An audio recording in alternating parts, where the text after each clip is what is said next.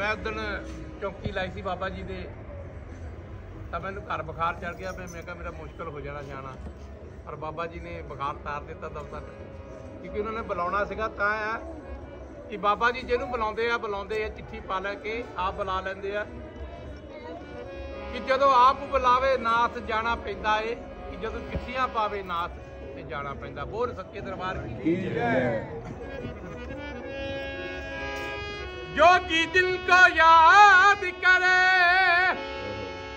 वो लोग निराले होते हैं। योगी जिनका नाम पुकारे, वो किस्मत वाले होते हैं। दरबार की